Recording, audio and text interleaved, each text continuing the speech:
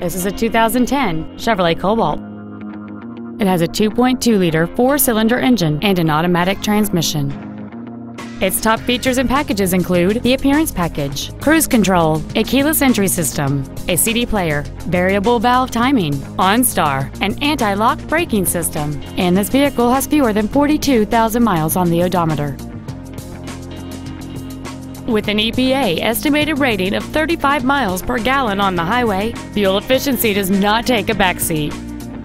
Stop by today and test drive this automobile for yourself.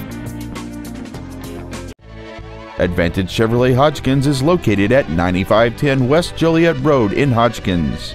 Our goal is to exceed all of your expectations to ensure that you'll return for future visits.